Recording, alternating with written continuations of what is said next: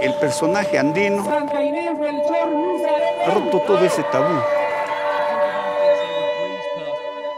Su misma contextura de formación, de rendimiento, hace que ellos se sientan tan iguales con otros deportistas que compiten. En 1918, hace 98 años, en nuestro país se fundó la Federación Peruana de Atletismo. Yo admiro mucho a Inés Melchor y yo también quise correr. Quiero ser atleta. El serrano es fuerte por, eh, por el mismo clima. Pues. Inés más que nada. ¿A quiénes les gustaría ser como Inés Melchor? Yo le veo a Inés que todas las vueltas durante los seis minutos nunca se paraba.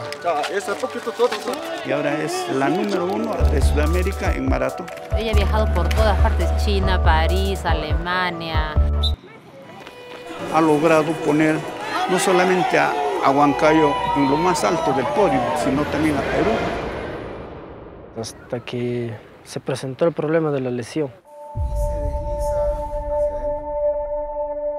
Hay en un momento en que uno ya siente el cansancio.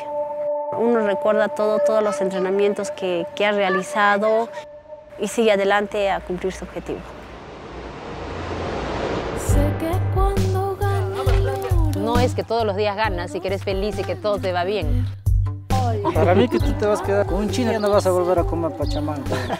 Muy bien. A veces pierdes, caes y la cosa es cómo salir de esto.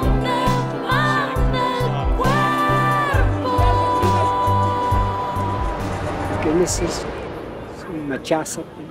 Santa